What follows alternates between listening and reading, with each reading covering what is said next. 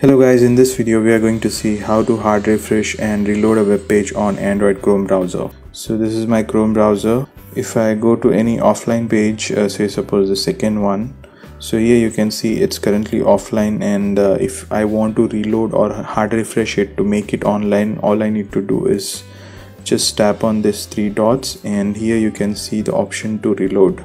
So at the extreme top corner right, you can just tap on this button and this will automatically hard refresh or hard reload. So other way is to pull down the browser using one finger. So just tap on the tap anywhere on the screen and just drag to the bottom and you can see this icon coming here at the top which is nothing but it's refreshing or reloading the web page. So if i release this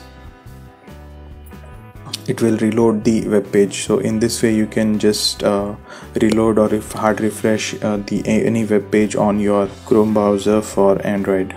I hope this helps. Let me know if you guys have any questions. Thanks guys. Cheers. Have a great day